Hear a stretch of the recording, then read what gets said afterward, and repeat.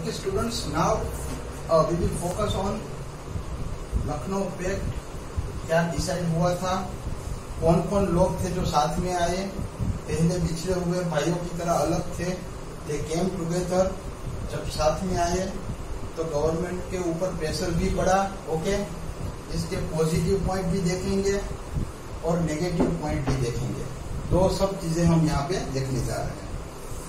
अभी 1914 में जब फ़र्स्ट वर्ल्ड वॉर ब्रेक हुआ तो उसका इंडियन पॉलिटिक्स के ऊपर भी बहुत बड़ा आ, मतलब इफ़ेक्ट आया।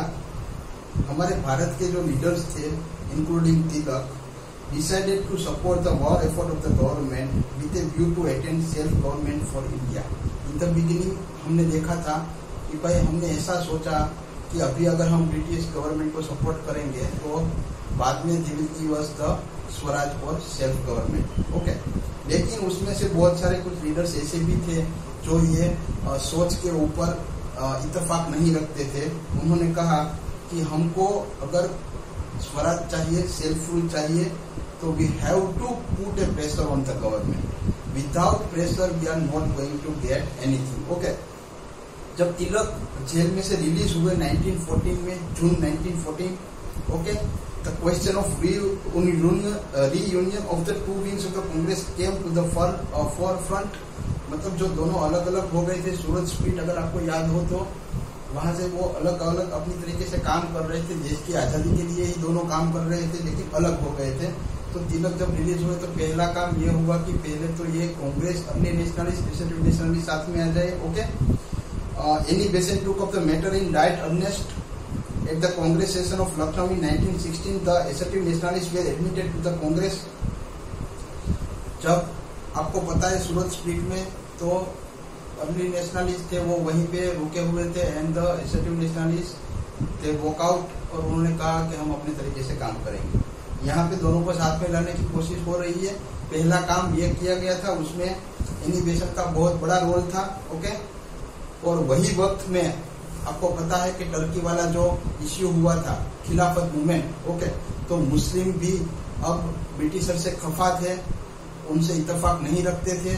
तो यहाँ पे आप देखोगे तो अर्ली नेशनलिस्ट एसेटिव नेशनलिस्ट जो कांग्रेस के दो पार्ट्स थे, वो साथ में आए। Here Muslim also came together okay with some condition उनकी कुछ कंडीशंस थी।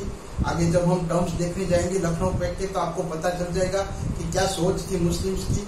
क्या सोच थी हिंदूज की ओके लेकिन right now they are coming together तो इस तरह से 1916 में लखनऊ में ये जो पैक्ट साइन किया गया, इसे हम लखनऊ पैक्ट कहते हैं ओके अब हम main terms of Lucknow pact देख लेते हैं।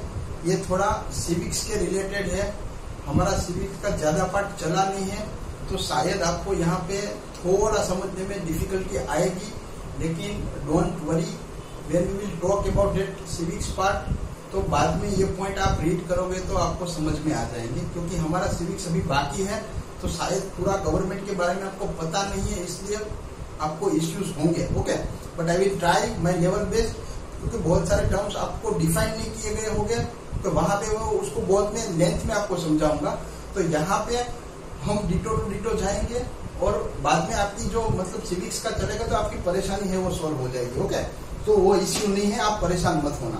First point the council of secretary of the state for India shall be abolished and he shall have the same position regard to the government of India as he does in the relation to the government of self governing colonies like Canada अभी secretary of state की बात हो रही है तो आपको पता है वाइस रॉयज थे और सेक्रेटरी ऑफ़ स्टेट थे।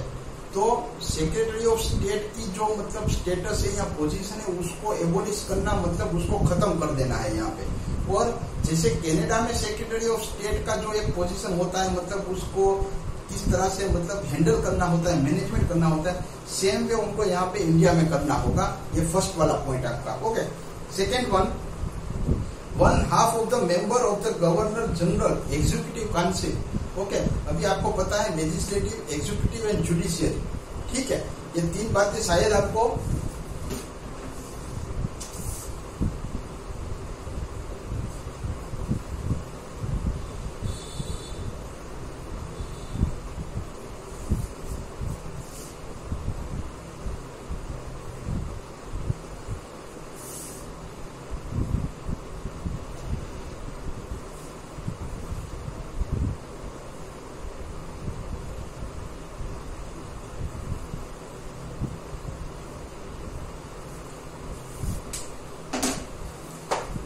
वाले लॉ को अप्लाई करने वाले, और जहाँ पे कोई ब्रेकडाउन होगा तो जुडिशरी संभालेगी ओके ये जो नॉर्मल हमारे टर्म्स है वो, ठीक है? तो सेकेंड वाला point one half of the members of the governor general executive council shall be Indians elected by the elected members of the legislative council मतलब आधे यहाँ पे जो मेंबर्स होंगे, उसको यहाँ से इलेक्ट किया जाएगा। हाफ़ ऑफ़ द मेंबर इसके यहाँ से इलेक्ट किए जाएँगे इंडियंस होने चाहिए वो। ये वाला पॉइंट है आपका okay third point the imperial legislative council have 150 member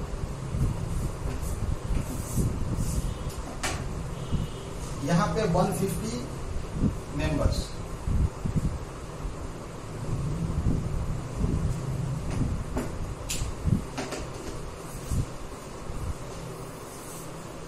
इसमें से फोर फिफ्थ ये फॉर वन फिफ्टी है। इसमें से four fifth member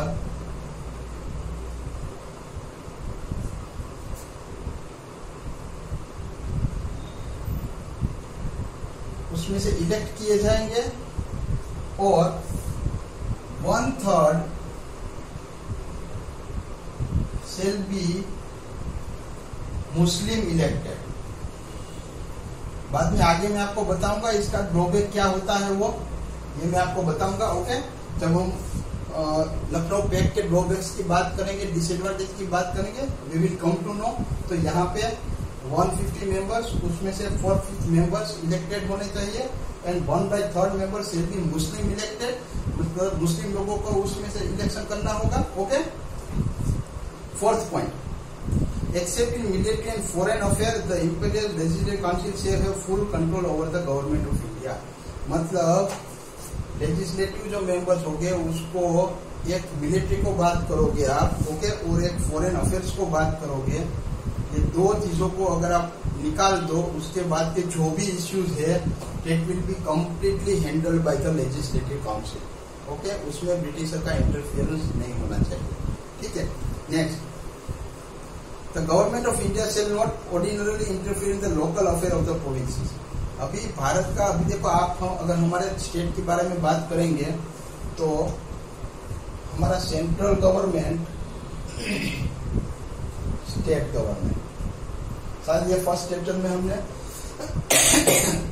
first chapter में हमने थोड़ा सा फटा हुआ है कि भाई सबके जो वर्क है, वो डिसाइडेड है किसको क्या क्या काम करना चाहिए।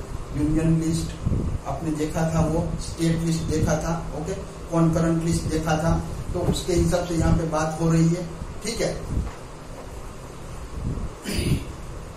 Four fifth member six point four fifth member of the provincial legislative council should be directly elected people on the broad franchise यहाँ पे ये जो फोर फिफ्थ मेंबर जो इलेक्टेड करने की बात हो रही है वो broad franchise but broad franchise मतलब पूरे इलाके में से उसका इलेक्शन किया जाएगा। लेकिन मुस्लिम मेंबर है, उसको मुस्लिम प्रोविंसेस में से इलेक्ट किया जाएगा सेपरेट इलेक्ट्रोड के हिसाब से। मतलब उसका सेपरेटली मुस्लिम का ये वन थर्ड है, वो सेपरेटली किया जाएगा। ये फोर्थ फिफ्थ है ब्रॉड फ्रेंचाइजीज के हिसाब से किया जाएगा। मतलब पूरा देश उसमें शामिल हो जाएगा। इस तरह से okay seven point the provincial legislative council shall have full control over the provincial government मतलब ये लेजिस्लेटिव प्रोविंशियल लेजिस्लेटिव काउंसिल है, उसका पूरा कंट्रोल होगा स्टेट के ऊपर, ठीक है? No legislative council shall proceed with bill और resolution if three fourth member of any community are oppose to it on the ground or take it adversely affective interest यहाँ पे ये बहुत इंपॉर्टेंट पार्ट है, आपको समझना पड़ेगा कि जब आप कोई बिल को पास कर रहे हो या कोई रिजोल्यूशन पास कर रहे हो, कोई रूल्स पास कर रहे हो ओके तो वो तब तक आप पास नहीं कर सकते। अगर थ्री बाय फोर्थ मेंबर कहे कि we are in against the bill और रिजोल्यूशन सब मेंबर को मिला के three by fourth member if are against the bill और resolution